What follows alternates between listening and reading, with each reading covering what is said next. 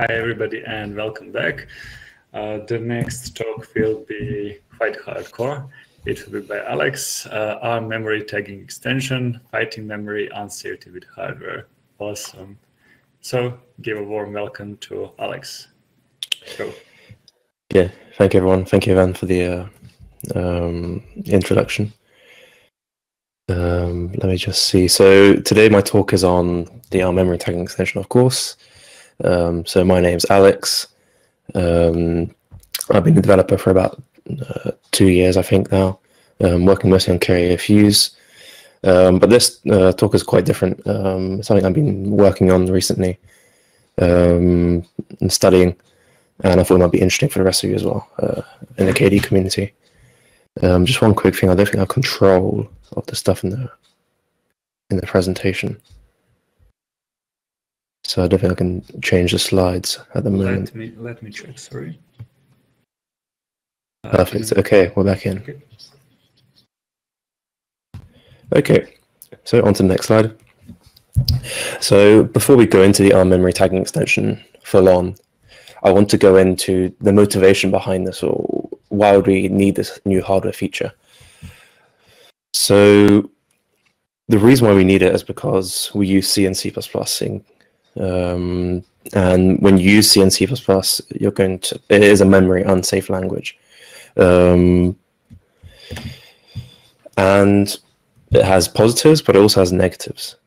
So first of all, what does it mean for a language to be memory unsafe? Well, first and foremost, um, you have access to pointers and you're able to manipulate them as you wish. You're able to do arbitrary pointer arithmetic, um, not just indexing to an array, but a lot more, pretty much anything goes as long as you do it correctly. And this provides some advantages. So, you know, you manage memory by yourself. Um, you decide when it's when you allocate from the heap, when you deallocate from the heap, and this can be quite useful if you don't want to use like a, a language that has automatic memory management. So Java has a garbage collector that you can use, uh, Python similarly. Um, and in many cases, you do want fine grained control. So, for example, if you're writing a game, you might know beforehand how much memory you need. And uh, dynamically allocating memory um, can sometimes, uh, especially in games, can be performance insensitive. So, if you know how much memory you need, you can just allocate it in one chunk, ready to go. Once the round is over, for example, um, you beat the boss, you can deallocate all the memory and go to the next one. Um, but you know, there's no such thing as a free lunch. So what do I mean by this? Well, managing memory yourself is, is hard. Um, you have to think about the lifetime of your memory, um, who owns this memory, when should it be freed, who's responsible for freeing it. Um, you know, and, and the needs to solve it. And you know, a lot of the time we do it correctly, but a lot of the time we don't. And, and this is where the real stinger comes in. So you know, if you do it incorrectly, um, you invoke you know undefined behavior.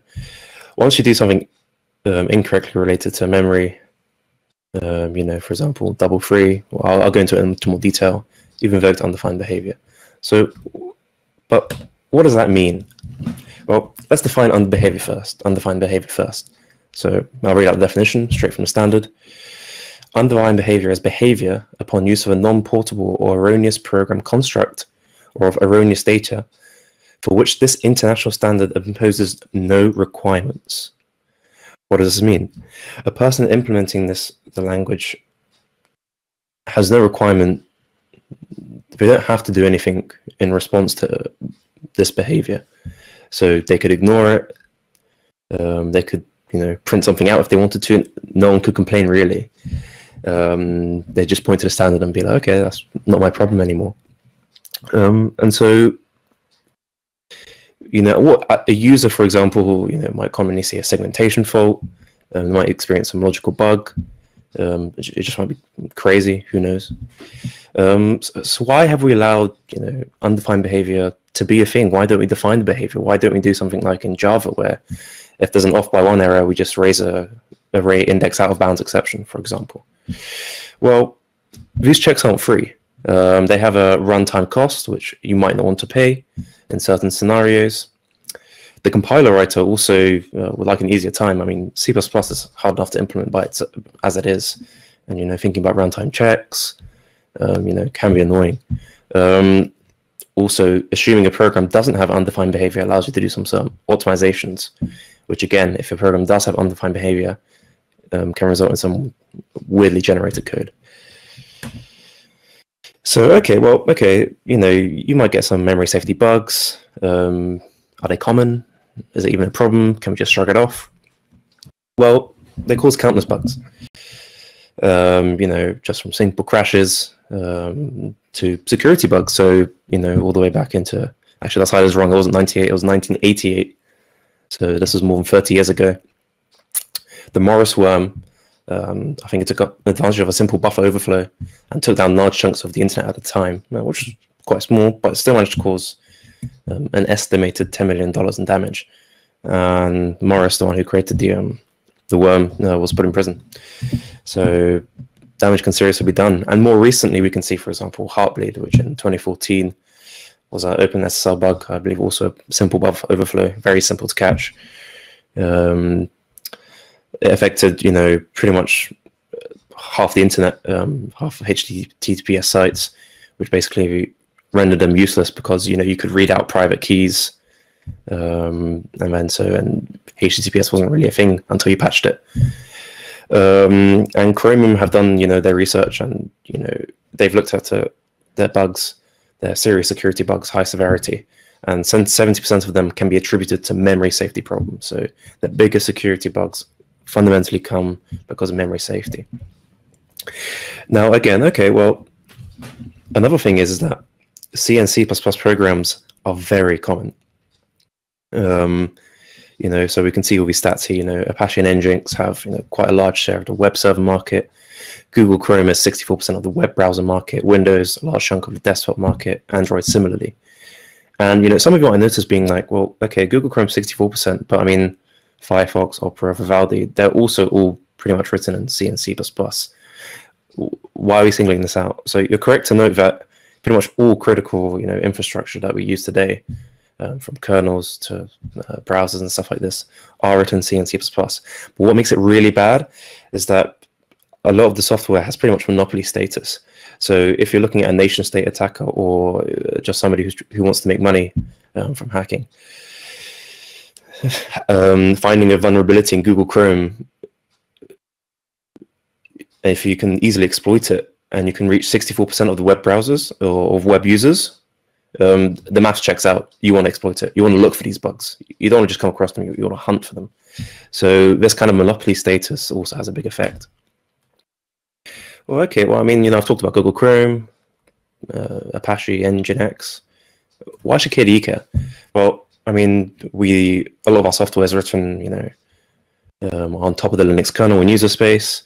Um, there's also a lot of user space uh, software that we use, you know, so maybe Wayland is also written in C, stuff like this. Um, and obviously, we write most of our software in C, or in C++, and sometimes in C here and there. And, you know, and our biggest libraries that we use, you know, Qt, again, C++. So, you know, we're also part of this problem, well, experiencing this problem. And you know we developers you uh, bound to deal with crash reports and a lot of these are probably triaged as very high importance. If i go through nate's blog you know quite a few crashes. So guys we're not perfect. Um, so we've got a lot of work to do. And you know crashes you know security bugs um, weird behavior caused by memory safety bugs um, deters our users away and we want people to use our software so before i go further I want to just uh, kind of refresh ourselves a bit. So this is the virtual address space layout for a single process. Um, so you can see the, the bottom of the address space is at the bottom of the slide. And at the top of the address space, um, we have the stack, for example. And the stack starts at the top of the address space and grows downwards, on Linux at least. And at the bottom, you can see the text segment, which is just um, the instructions of the program you're running. Um, the data is, you know, some initialized data at, at the beginning of the startup. And the heap has dynamically um, allocated memory that you can get from you know malloc or new or you know make unique make shared etc and the heap similarly grows upwards starting from lower addresses. Um, and to note that the shared libraries um, are stuff like, you know, well, for example, Qt. Qt is uh, maybe dynamically linked, and so the process will start up and put the the shared libraries in the correct space so that you can call into it and it's all good. And knowing that is useful for later. So keep that in mind. Um, the stack is managed by, well, at runtime with you know instructions. Um, the way the stack is used is managed by the compiler in the code generation, so during compile time. Um, and the way the heap looks is managed by the um, memory allocator code, so usually glibc, uh, at least on Linux. Okay, so let's look at our first kind of um, type of memory safety bug that you can run into. So we have a simple function here that's vulnerable to a stack overflow. Why? Well, this function takes in two arguments that it doesn't use, but you'll see in the next slide why I wanted to put them there. And we allocate a buffer of 100 bytes. And then we take a user input and put it into this buffer. Now, scanf does not does not do any bounds checking of the input. It just assumes that you know you're not going to use it any more than 100 bytes, and that is not an okay assumption, especially if somebody malicious uh, has an opportunity to put some stuff there. So if it is overrun either on purpose or by accident, um, you have a stack overflow. So what's the problem here? Well, not only can it crash a program, um, it can also be used um, as an exploit. So let's get ourselves into the minds of an attacker. So the attacker will want to insert input, sometimes called shellcode, that will allow the attacker to take control of the program, to take control of the execution flow. So what does this mean? Well, let's take a look at the um, at an example stack frame. So we have the local variable buff at the bottom here, um, near the bottom of the stack. Um, when you fill your data in in in the buffer, it will kind of climb upwards. So if you if you fill up the buffer, if you go if you start to overflow the buffer, you're going to overwrite, you know, um, kind of the bookkeeping needed um, to actually run your program correctly, to set up the stack frames correctly. So in this case, you know, you need a you might need a say frame pointer if a frame pointer is generated. You'll need a return address to know what function to go back to once you're done in this function. And you also might have um, some inputs on the stack. Sometimes not, sometimes there is. Um, in th this case, I assume it is. So what an attacker will want to do is they'll want to put in code. So the shell code is stuff that they want to execute and they want to overwrite the return address such that it points back into the shellcode. So it points into code that they themselves have inputted. And so the shellcode might, for example, if we're exploiting Apache, we might want to open a, a root shell uh, because Apache commonly runs as root, um, and we want it to be accessible over the internet. Great. Um, I mean, you have a root shell of a server, uh, game over. Well, okay, so you might have noticed something. Well, how do I know exactly where the return address is? But sometimes isn't obvious. If you have access to the source code, maybe you could figure it out. You can compile the program, play with it locally. Sometimes you might not be so lucky. Um, so the first question is, do I need to guess exactly where the return address is when I'm designing my shellcode? No. Uh, just write it many times as a suffix if you can, and then one of them will hit. Okay, well, what should my return address be? Well, it should point into the shellcode somewhere, but if we're off by a bit, we might just crash the program. We won't execute the shellcode we want. Well, we're in luck. Um, we can use certain NOP instructions, so no operation doesn't do anything, and we can prefix our shellcode with it, and then hopefully our return address um, will pop back in, and it'll hit. If it hits any of the NOP instructions, it's just going to call not not not not until it starts onto our real shellcode, and then hopefully we're good. Now, obviously, you hope that the buffer is large enough for you to kind of pull this off. So, if you've overflowed a four byte buffer, I mean, good luck getting any decent amount of shellcode. Um, but if it's bigger, like 100 bytes, you could probably pull something off. So, and these are quite common because you have access to change the return address. So this has been around for, you know, well, since the inception of C, since the inception of C++. Have we just been sitting there? No. So the first mitigation for this type of um, potential exploit is write or execute pages. So um, usually um, trying to allocate pages and at the time there was no requirement if you know if you could do write execute or read pages but the question is why is the stack executable it shouldn't really be executable we shouldn't want to execute code that the user has put in that doesn't really make too much sense so why don't we establish a requirement and say you can have a page and you can either write to it or you can execute it, but not both. And so how will this stop our previous attack? Well, if the return address leads back into code that we just inputted, we make sure that it's only given write access. So we can only write to this page. And so when we try to execute instructions in that page, we'll generate a fault because we're not allowed to execute that shellcode. Okay, so I mean, are we done here? No we can work around it. So if you if you remember earlier, um, there are some shared libraries that um, that have code, you know, like the C standard library, C standard library, maybe Qt, whatever. And so the workaround is, well, why don't we just set the return address to a commonly known um, function that we might want to use in the C in the C library. So, for example, we might call system bin slash sh.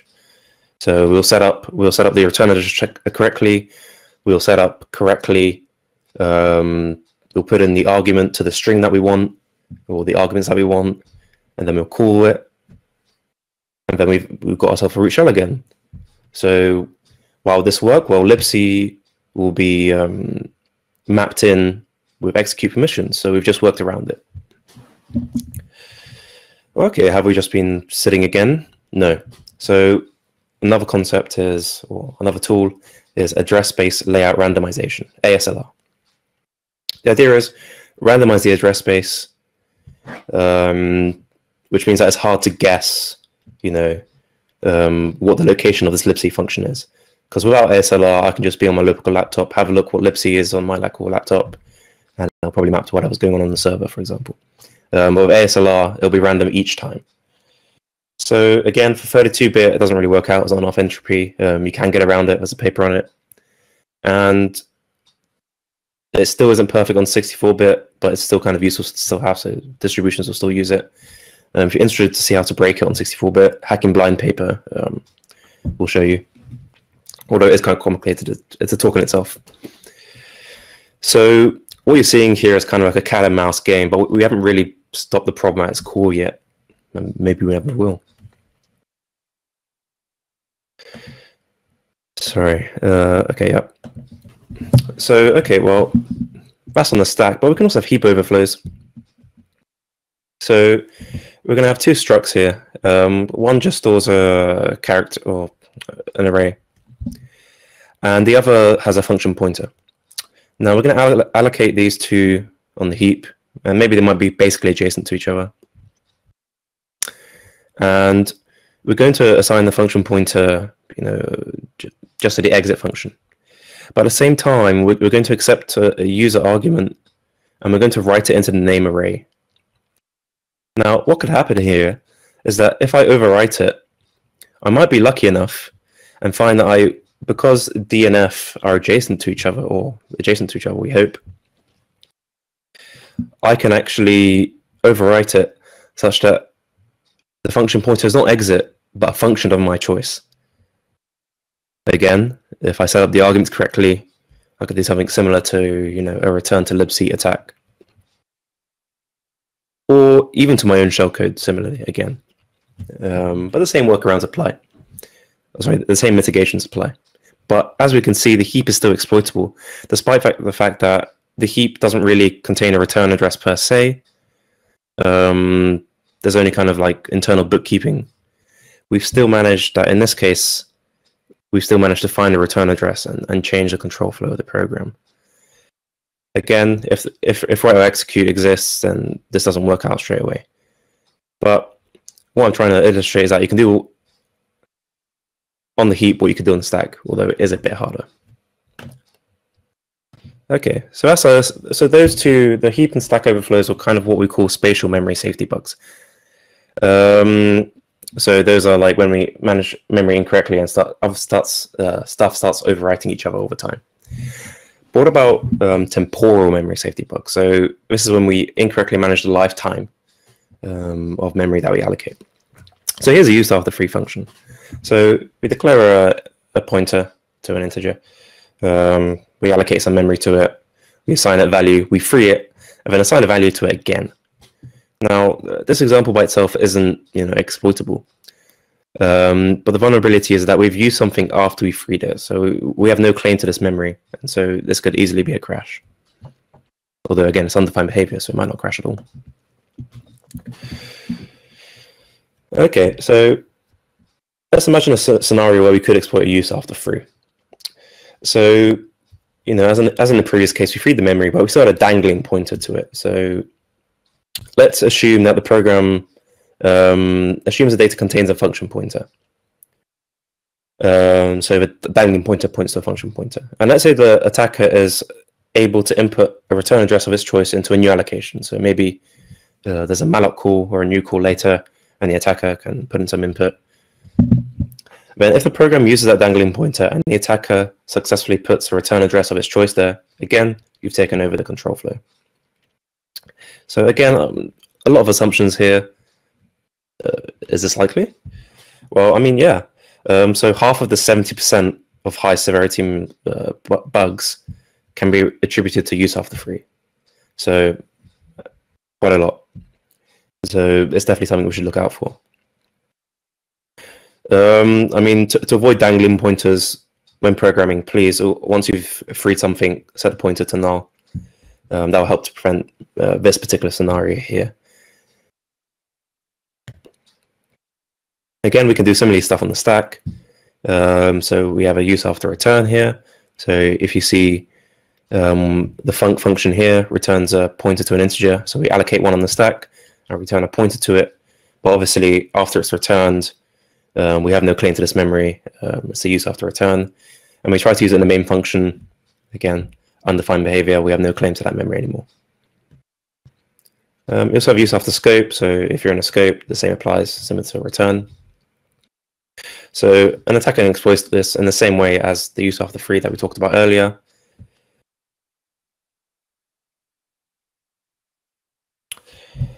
Now, let's look at some other tools that um, that have been used to help prevent these type of things happening in the first place. So we looked at mitigations already. Um, but let's talk about how can we even prevent these coming into our programs. So we don't even we could be in a scenario where we don't even need these mitigations.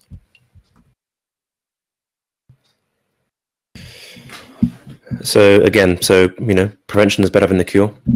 Um, so in the section, I'm going to go through some tools and we'll build up to, you know, MTE.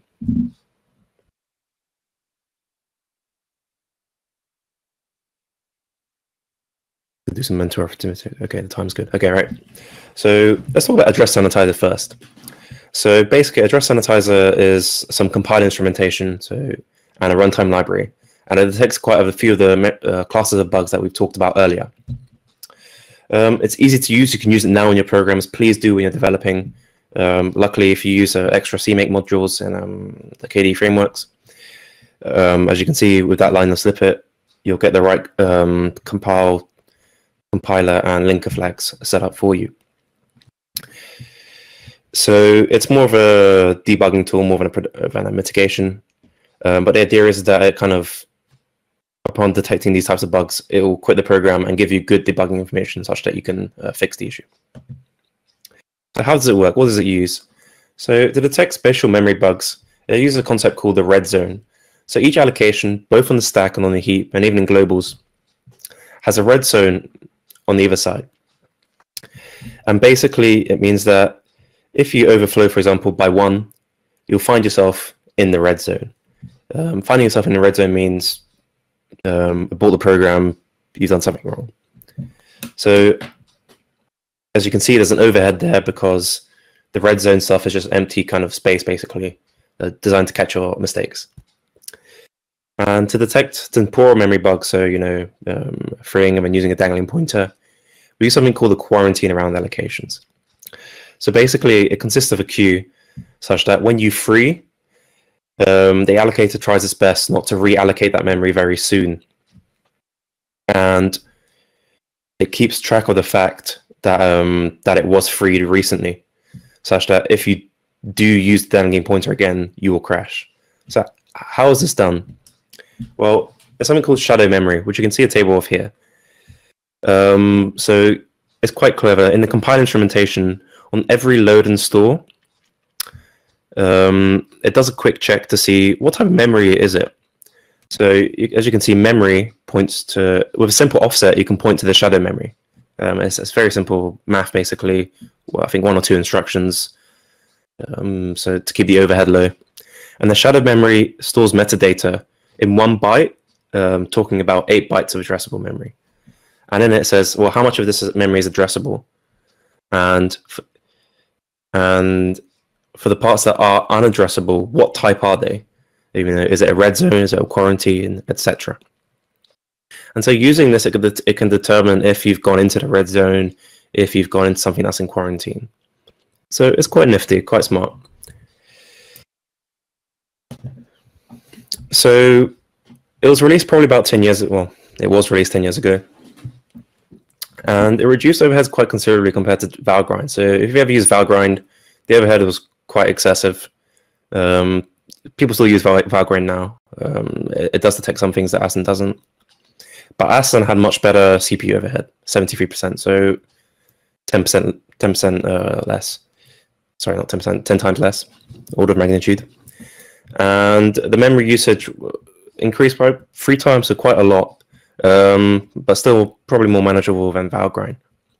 And so you could use this easily for debugging for most programs, but production use probably not. And you know, Chrome and Mozilla, and I guess us, have had a good time, you know, finding bugs with this. So when they used it, they found 300 bugs in a Chrome code base in the first 10 months. But it is a dynamic analysis tool. So a static analysis tool just looks at the source code and decides if there's you know any problems that it can it knows about. But the dynamic analysis tool only does its work when it's running. And so, you know, your analysis is only good as the test suite you're using. No tests, um, is effectively useless. But recently, we've seen the trend of fuzzing. Um, KDE does use fuzzing. I think we, uh, somebody's manager, I think it's Albert, who manages OSSS, the OSS-Fuzz, which uses Asan. So fuzzing is basically just using random inputs. And if it crashes, it's like, okay, I'll try more inputs that are like this. Um, that's a whole field in itself. Um, but Asan and fuzzing are amazing tool. Okay, so what's the next iteration? What are we going for next? So now we have hardware address sanitizer. So that consists of compiler instrumentation and a runtime library, similar to ASAN, and it detects a similar class of bugs to ASAN, but it uses a completely different technique uh, of doing its work. So firstly, it relies on a feature called ARM-TBI um, to store something called tags. Um, and the, the technique used, it uses is called memory tagging. So I'll talk about that more, more in a moment. Again, pretty much as easy to use as Asan. Um, just provide the correct compiler flags. Uh, we don't support an extra CMake modules yet, I believe. Correct me if I'm wrong. Um, it's only supported in Clang, I think, as well. Um, and only supported in ARM for now. Intel is releasing something called uh, linear address masking, which might mean Hwasan might actually work on Intel soon. So keep your eyes peeled. Okay, so I mentioned ARM-TBI, but what, what is it? So registers, at least on AArch64, are 64 bits wide, but virtual addresses are only 48 bits. Um, so there's only 48 bits of addressable memory, uh, or 2 to the 48 bits. Um, and so the other 16 bits are just set to zero or all ones. Um, and it has to be that, otherwise, you know, bad, bad times for you. But ARM-TBI is a new feature, um, well, not new, but a hardware feature that relaxes this requirement.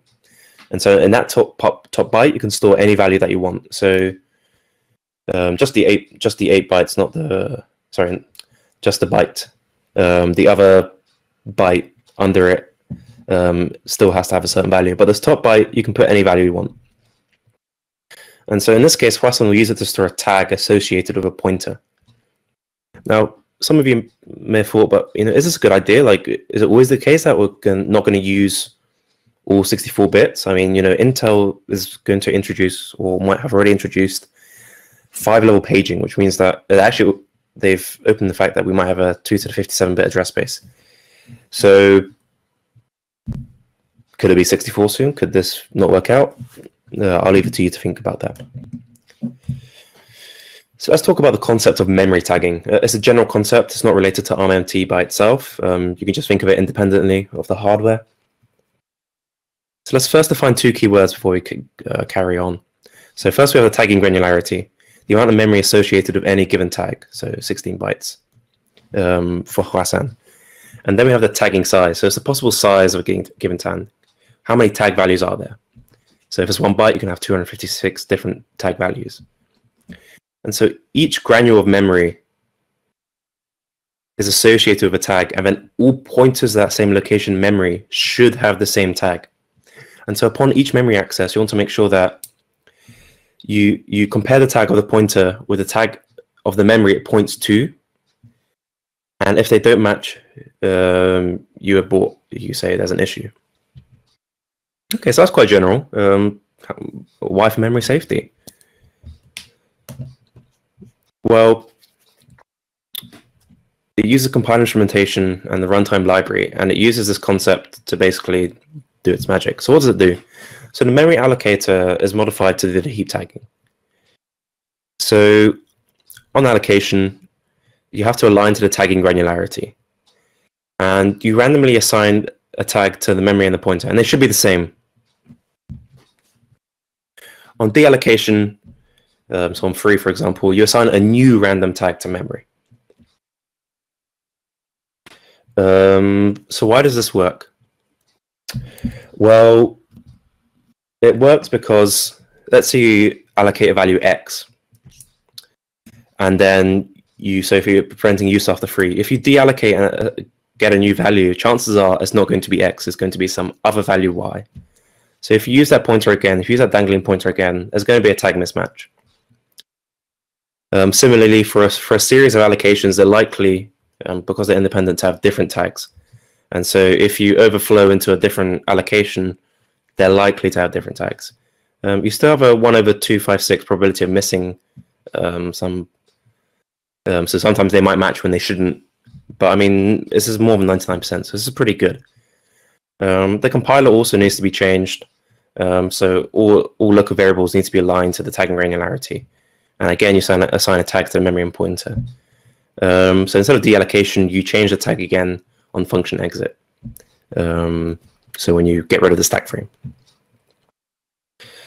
Um, for the stack, a single base tag is used and all other tags are derived from it. So basically, it's a bit too expensive to do a separate um, allocation, sorry, to generate a random tag for each allocation on the stack. So you just use a base tag and then you might increment on top of it and just go in circles, for example. So add one to the next allocation, add two to the next allocation, and stuff like that. Okay, so is it better than ASAN? Well, it has a smaller RAM overhead because you don't need a red zone, you don't need quarantine. You just need the storage for the tags itself, and you need to align uh, both the stack and heap variables. Um, it's also better at detecting non-adjacent out of bounds access. So the red zone doesn't really help you if the access is not adjacent, if it's like all over the place. Um, it's also better at detecting use after free over time, again, because the quarantine is only good as the size of the queue.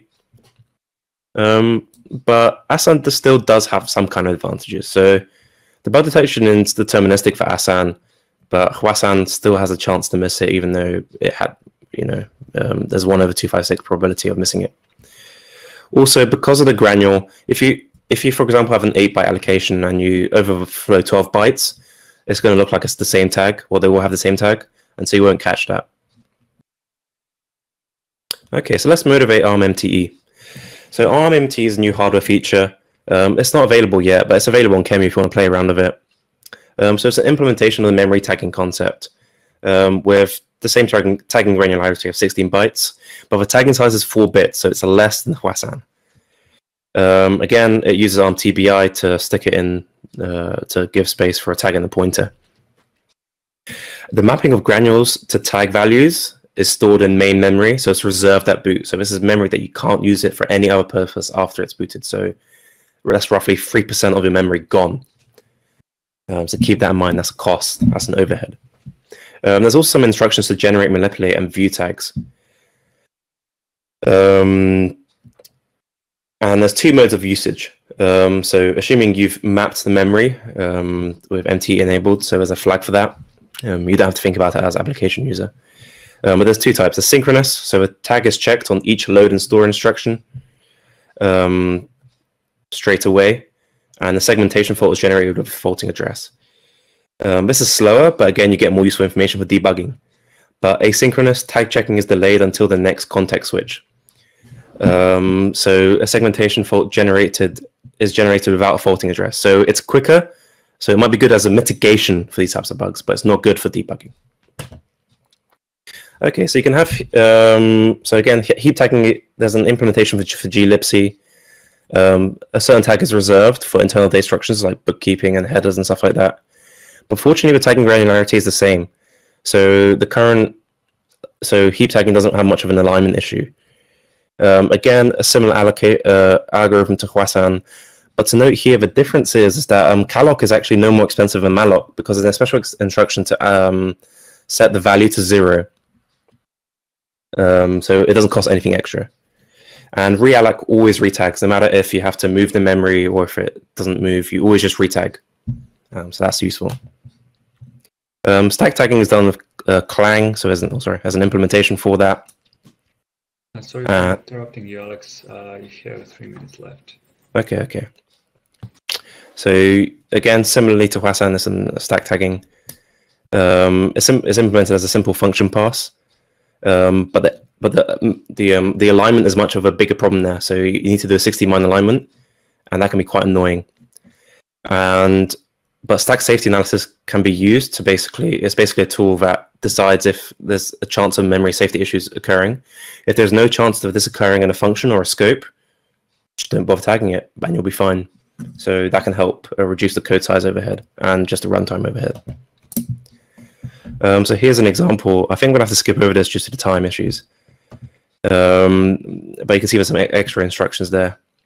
Um, but what ARM MTE offers is offers it should offer smaller CPU overhead because you don't need to you don't need to do compile instrumentation for each access. That's handled in the hardware for you. Um, obviously, the hardware isn't released yet, so we don't know what that is, um, but hopefully it's quite low. The RAM overhead is also um, kind of a tiny bit smaller. Um, well, you, you, can't really see it in user space, but there is storage. So there's 3% already gone, and then there's like the alignment um, that you need to deal with as well. Um, the code size also should be smaller because you don't need the compiler instrument or a lot of the compiler instrumentation.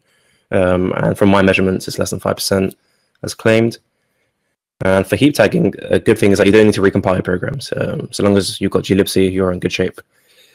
Um, is still better because the tagging size is bigger. So with with only four bits, then we still have a seven percent chance of missing out on the bug. So that can be a big issue.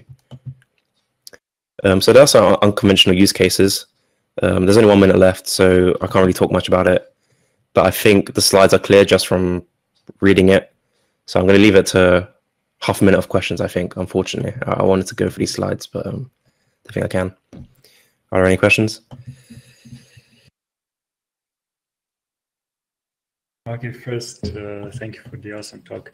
Uh, I would really, really, really, really advise you to split into three talks for the next Akademy. So, okay, because this is something that we should all learn and I guess know by heart. Uh, a question that I would like to ask uh, so, most of these tools are something that mitigates already made bugs or detects the already made bugs. Do you see a world where we could avoid making those bugs in the first place? Um, obviously. I think the world is always trade-offs, right? So in many cases, we can avoid quite a lot of them by using just a different language. The real question is, can we do it? Can we have it like a free lunch? Um, so I guess we've seen with Rust there's some improvement in certain areas. Um, but again, not, not free lunch. It's a, in some ways a harder language. Mm-hmm. So I don't think we'll kind of reach that kind of 100% stage. Um, but hopefully the trade-offs will fall more in our favor over time. So I think ArmMT is one of those, for example. Cool. Uh, I think that's that's the, all the time that we have. Thank you yet again, and enjoy all the claps in the chat. Uh, people are clapping, clapping, clapping. I, am not going to to count all the claps that you got. Okay, thank you. So thank you yet again. Yep. Um, yeah. But if any questions, feel free to email me or just I'll be. I'm commonly in. Um, my nickname is Feverfew. So, any have questions, please let me know. Yeah. Thank you. Cheers.